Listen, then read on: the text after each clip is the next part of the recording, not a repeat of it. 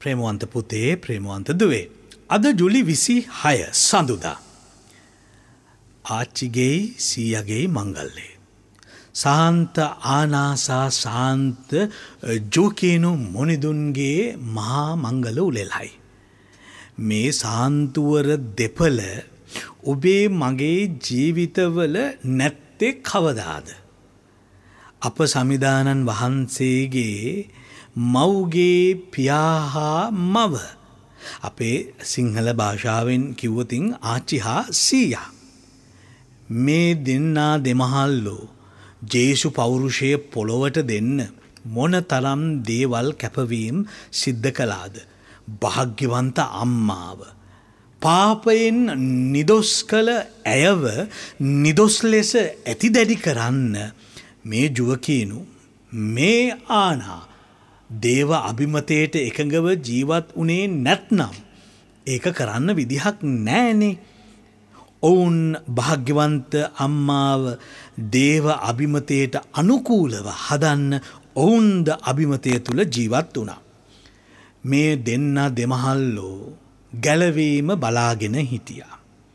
ගැලවීම ආසන්නව දැක දැක විඳින්න බලාගෙන හිටියා.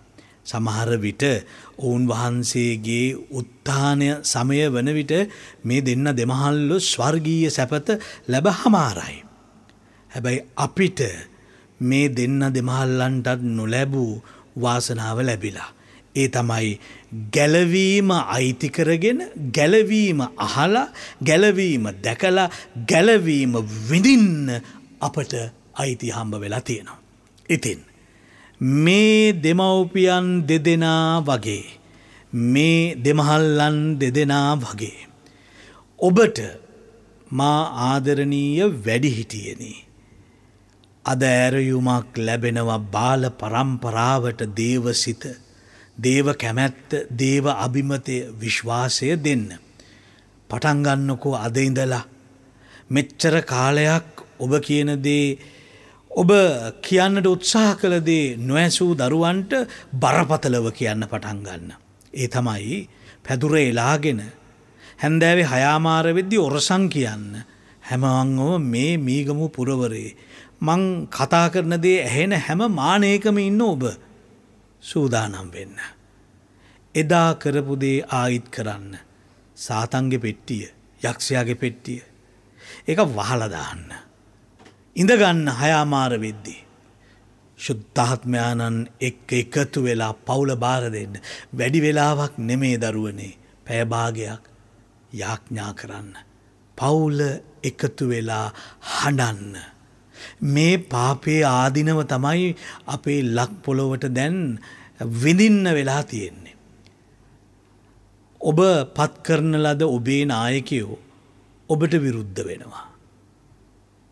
ඔබව පෝෂණය කරන්න ඕන එඩේරු තමන්ව පෝෂණය කරගන්නවා.